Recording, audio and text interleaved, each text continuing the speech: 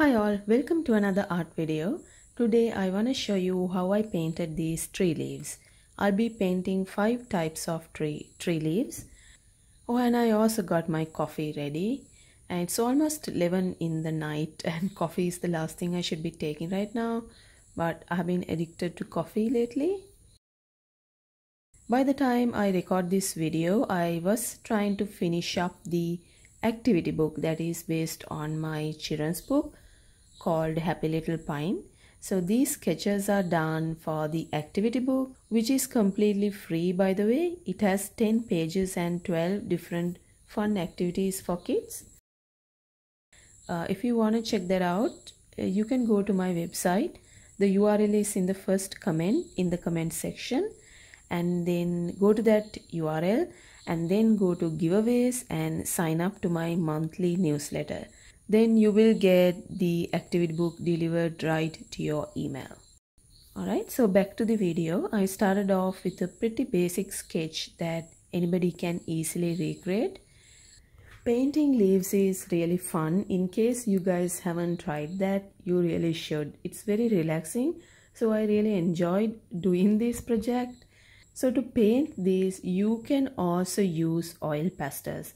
I say that because I know that a lot of you guys out there who are subscribers to my channel are mostly are mostly um, interested in oil pastels so you don't have to use water-based mediums. You can use oil pastels the reason why i'm using water-based medium is because that way i can use my brush to paint some of these fine little details. It'll be so much easier using a brush so as I go on, I keep adding on to the basic sketch because these little leaves in a pine tree, pine tree branch, they don't all grow in one direction. They grow around the stem in all directions. You kind of have to capture that effect. So I added leaves that spread out in all directions. So this is how it looks. Close enough right so then let's move on to the oak tree leaf. If you're living in my home country which is sri lanka these trees are not very popular.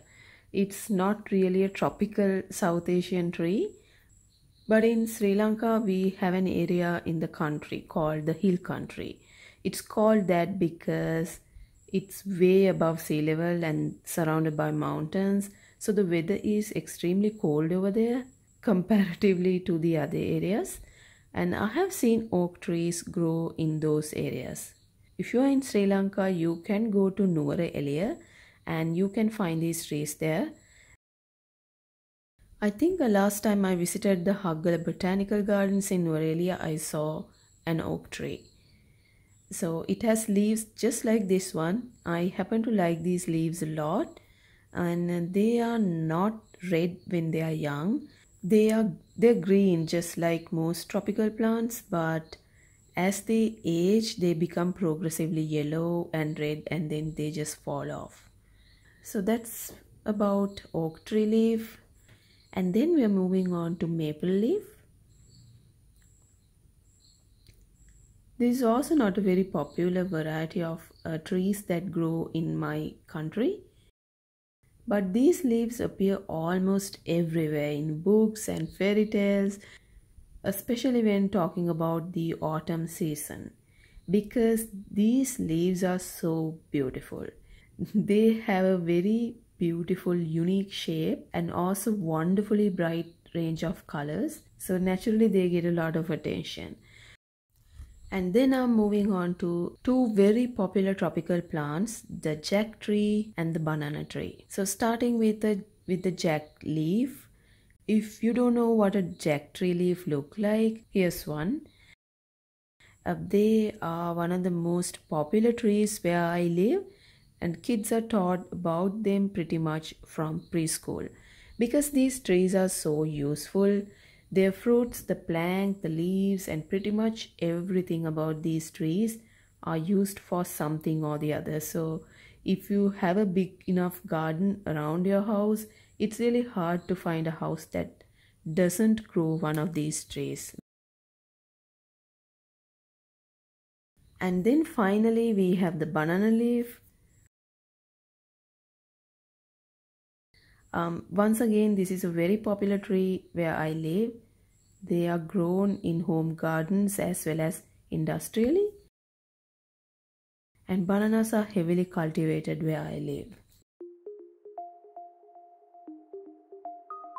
Alright, so this is how all five types of leaves look like. And the activity is actually uh, allowing kids to identify the leaf and connect it with the tree.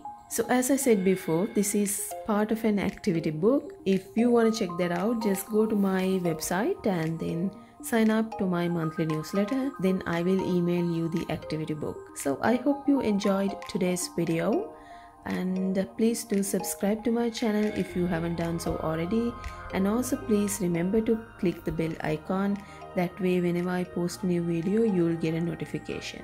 Thanks for watching this video and uh, see you next time with more art videos. Bye bye.